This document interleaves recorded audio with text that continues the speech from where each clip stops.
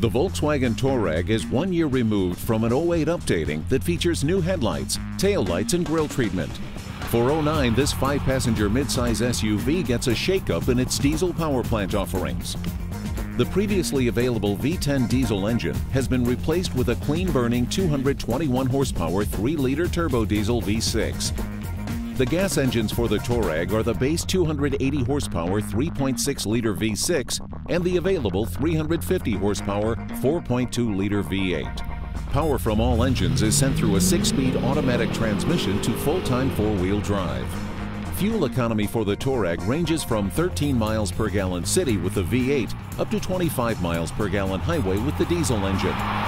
The Touareg features adjustable air suspension, something not found on most SUVs. This technology, coupled with Volkswagen's 4X Motion permanent four-wheel drive, makes for a very capable SUV, whether in mountain streams up to 22.8 inches deep or on superhighways. Base MSRP for the 2009 Volkswagen Touareg is $39,300 for the V6. A fully loaded V8 model can cost as much as 70,000.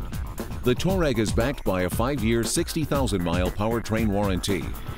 The 2009 Volkswagen Touareg is a legitimate off-roader, but with the on-road manners that make it an SUV for just about any motoring environment.